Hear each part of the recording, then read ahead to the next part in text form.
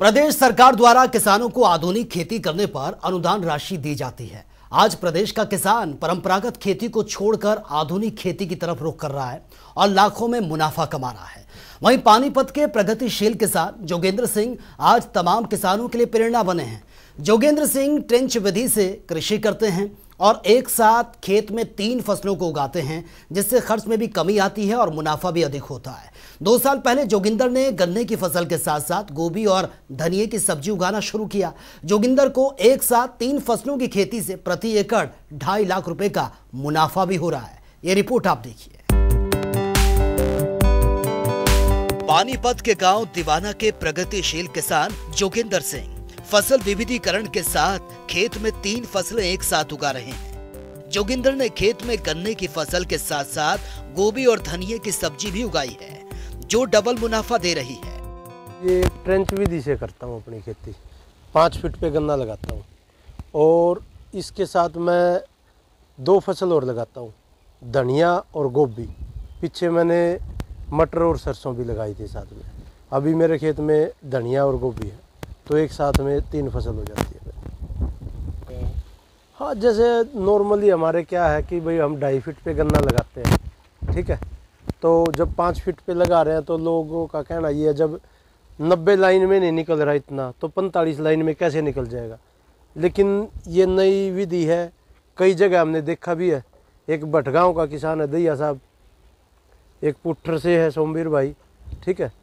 तो ये अच्छा काम कर रहे हैं इनका देखा हमने। तो वहाँ से थोड़ा सा एक बार हम जींद गए देखने। मेरे गाँव में भी अच्छे किसान है एक दो। प्रगतिशील किसान जोगिंदर सिंह ने बताया कि वो ट्रेंच विधि से कृषि करते हैं और एक साथ खेत में तीन फ़सलों को उगाते हैं, जिससे खर्च भी कम आता है और मुनाफा अधिक होता है।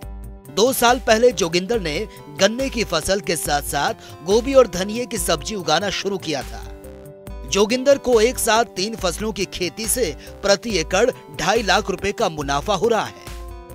मैनुअल काम को हमने घटाया इक्विपमेंट लिए हैं। जैसे छोटा ट्रैक्टर है, उसका रूटावेटर है, कल्टीवेटर है, रेटून मैनेजर है, इस पर मिट्टी चढ़ाना है। अब जैसे हम बंदाई नहीं करेंगे गन्ने की, जो बंदाई की हमारी कॉस्टिंग है, वो बचेगी। अब मेरा एक एकड़ में इसकी नुलाई पाँच सौ रुपये के तेल में हो रही है। अगर हम मैनुअल कराए तो पाँच छः हज़ार रुपये लेगा। खेती से ही दिल्ली आजादपुर मंडी के आड़ती गाड़ी भिजवाकर धनिया, गोभी की सब्ज़ियाँ मंगवा लेते हैं। कृषि विविधीकरण से जोगिंदर मौसमी सब्ज़ियाँ भी उगाते हैं। जोगिंदर ने बताया कि वो लगभग इस विधि से 20 एकड़ में कृषि करते हैं। साथ ही पचास हज़ार रूपए प्रति एकड़ बटाई पर लेकर 60 एकड़ में खेती करते हैं। हाँ पानी की इतनी बचत है जब हम पाँच फीट पे लगा रहे हैं ना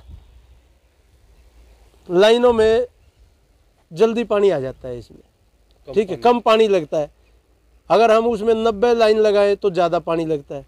और गन्ने को फ्लड वाला पानी नहीं कोई भी चीज़ है फ्लड वाला पानी नहीं चाहिए नमी चाहिए। तो पानी की भी बचत है जैसे हमारा वाटर लेवल नीचे जा रहा है तो हम उसमें भी हेल्प करते हैं कि भाई आने वाली जो हमारी पीढ़ियाँ हैं उनको बेनिफिट मिले। हाँ तंज भी कसे हैं मोटिवेट भी किया है। क्या है? कहते थे लोग? कहते यार ये कोई नहीं इसको तो आदत है ऐसा कुछ करने की। ये बनेगा हाँ। लेकिन कईयों ने मोटिवेट भी किया है। तो ये तो चलता ही है। आज आपसे ट्रेनिंग भी लेने आते हैं कुछ। हाँ किसान मिलने आते हैं। मैं उनको देखो ये भी बताता हूँ कि भाई क्या क्या चीज़ें ज़रूरी हैं। अधूरा ज्ञान हमेशा तंग करता है आदमी। तो इक्विपमेंट्स ज़रूरी हैं। टाइम मैनेजमेंट ज़रूरी है।